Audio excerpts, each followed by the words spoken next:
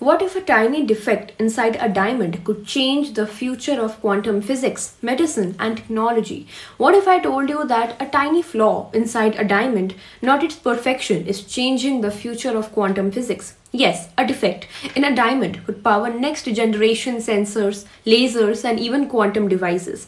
Inside some diamonds, one carbon atom is replaced by a nitrogen atom, and the neighboring spot is left empty.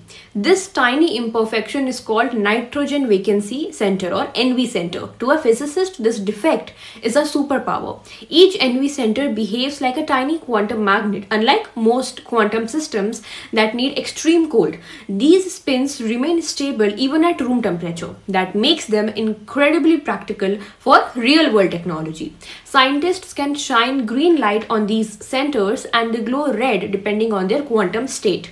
Now, this allows researchers to read quantum information using light. Because of this, NV centers are already being used as ultra precise sensors. They can detect tiny magnetic fields, brain activity, and even a microscopic crack inside material.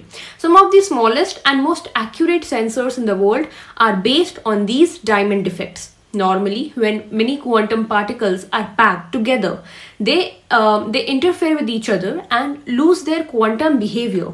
But scientists recently did something revolutionary. They placed trillions of NV centers inside a special microwave cavity.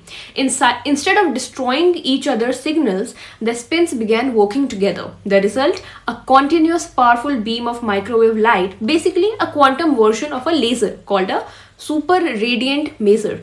This discovery shows that imperfection can create powerful new technology. It opens doors for quantum communication, ultra precise timekeeping, medical imaging, and next generation sensors. So, the next time you think perfection is everything, remember one tiny flaw in a diamond is reshaping quantum physics. So, this is it for this news. Thank you.